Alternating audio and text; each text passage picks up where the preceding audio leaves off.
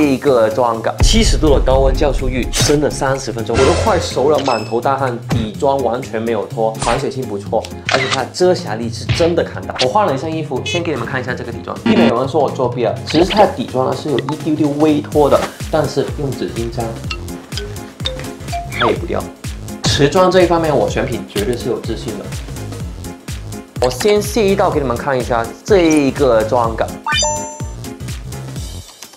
这样蒸出来肤色才是真实的底色。我先卸掉一半，再给你们上一下这个底妆，接近了吧？用的还是之前给你们推荐过的这个 Smiley 粉底液，它里面是有成膜剂的，哪怕你热到泡在汗里，你的底妆都不会花。这个遮瑕力是真的很抗打，你看我脸上这些泛红，连我黑眼圈都可以盖住。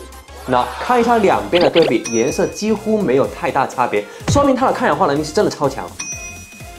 而且我不做定妆，用手机黑屏轻轻一沾，它也不会是整个屏幕都是那种猪油。如果你一点点都不能接受，那你别买。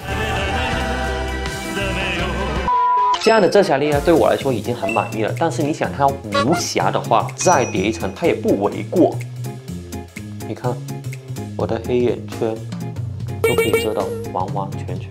Perfect，它是真的。我近一年来我试过所有粉底液，在评价里面非常保障，没有质疑。油皮天菜，干皮你做好保湿多么猛的。唯一一点，它目前只有两个颜色，一个冷白皮和黄一白。但是呢，我一直跟品牌去沟通，这么专业的产品一定是要受众广的。黄黑皮你再等等。OK，跟到后面分人给的吗？Hello，大家好，我是 Sam 陈浩，这里是我 YouTube 唯一官方频道。如果你喜欢我的视频呢，请大家多多订阅我的频道，并多多点赞分享我的视频，不要忘了开启小铃铛，这样就不会错过我最新的美妆 Tips 啦。谢谢大家对我的支持。